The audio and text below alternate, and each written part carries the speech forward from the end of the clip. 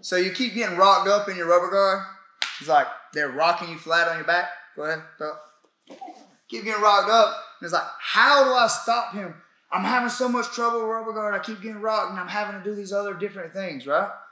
So let's talk about New York or rubber guard for a minute. I'm seeing a lot of guys like trying this stuff. And for one, they're like getting here or they're like this and they're like, and they're, they're kind of like on their shoulders and stuff. Here's the thing, guys. He's to curl his arm and he's gonna push and rock me flat on my back. Now I have stuff that I can do from here, but this is where a lot of people are having trouble with their rubber guard. They're not understanding what's actually happening. This foot, I'm pushing on the hip and I'm scooting my butt away and I'm like bringing all of my weight into this shoulder here and then I'm hanging over his head. I'm kind of like pushing my knee like to like keep his head down. Where the head goes, the body follows. A lot of people get here and their knees up. That's allowing them, even when they're here, look, that's allowing them to move their head and get into this position. So, what I like doing is we scoop and I kind of put a little bit of pressure. I'm pinching here, boom, heavy here, and now I'm putting pressure on their head. So, if he's trying to look up, I don't want him to look up. I just barred that in there. I don't want this man looking up. So when he tries to curl this arm, I'm pushing on the hip. That's kind of negating his strong curl. Then I'm pushing on the head.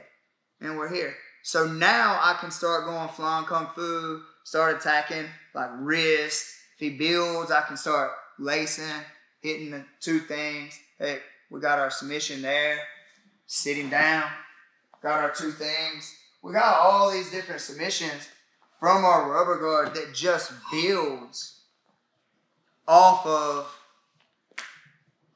making sure that I'm pulling his head away from his hips with the bite when I bring him down, and I'm inside here and I'm just kind of clamping that into me. You hear it explained a lot like go belly down, belly down. It's not wrong because that's that's what we're doing. But it's more about getting heavy in the right places. I'm scooting my butt away. I'm not underneath him. The more underneath him I am, that means the more control of his head he has.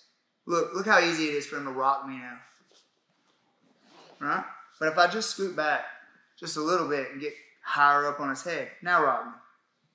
Go ahead, rock me. Guys, I'm not even doing anything. You see how hard that is? Now all the weight's going to this hand now I can start attacking. I can hit my seamless triangles. I can hit my flying kung fu's. I can get inside here, grab the foot. I can I can start like yeeting this guy. Yeah, start doing all of this other stuff. I can get into my carnings. Boom. Start getting into all this different stuff. The second part of this, people don't talk about a whole lot. They just see the hand come through and they're here. Some people are even grabbing. It's like, oh, I wouldn't recommend grabbing. You can, but I like sticking the bar in there the bar kind of gives me a little bit more. But you see this knee? It's like this. You see this knee? That foot? This is called New York rubber guard, right? I'm up. I'm putting uh, the first problem that I see with people that don't train with us or train with 10th Planet is like they have the foot down here and they're trying to pinch and they're like holding on to the, the arm here or the arm here. And it's like, if even if I have the arm, this is good for me to have the arm. It's bad for my heel to just kind of be down here. It's not bad, but it's just not, they're going to rock me flat. I have to do other things, right?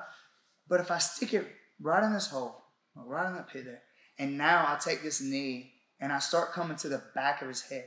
When I collect here, I'm not only pinching my body to this arm to keep him here, I'm keeping his head down.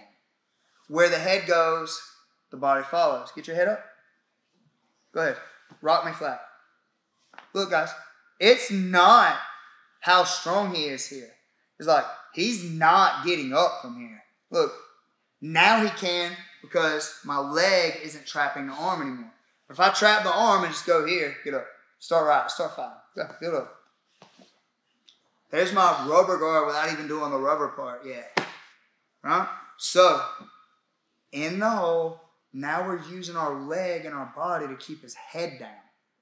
I don't want to build. So even if I don't have his arm, and we're here, I'm scooting my butt back and I'm keeping his head down.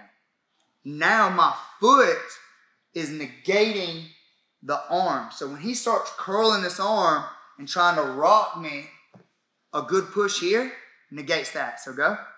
Now go ahead, get your head up. This is how we're staying in the position, guys.